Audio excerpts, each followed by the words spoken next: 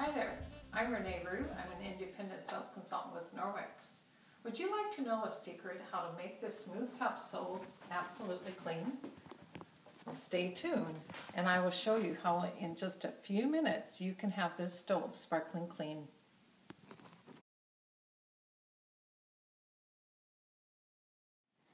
The secret to getting my clean stove top is not what comes with my stove.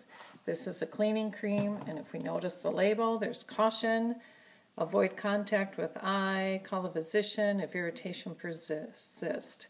It is a toxic product. What the secret is, is a Norwex cleaning paste. This will clean, polish, protect in one application. It is made of marble, natural soap, and traces of coconut oil. It is poison acid free, biological, phosphate free, environmental, and skin friendly. So we take the paste. I take the kitchen scrub cloth. It's a rough feel to it, and I rub in the paste. The paste I've had for a year, and that was about a fourth gone. And I'm going to take the cloth and just rub and scrub the smooth top even do your bathtubs, your sinks, stainless steel you can use it on. Use it on plastic, on um, just so many surfaces to clean. Then what, I, and you can see the, the cloth has got some gray, it's picked up the grime and stuff off of my smooth top.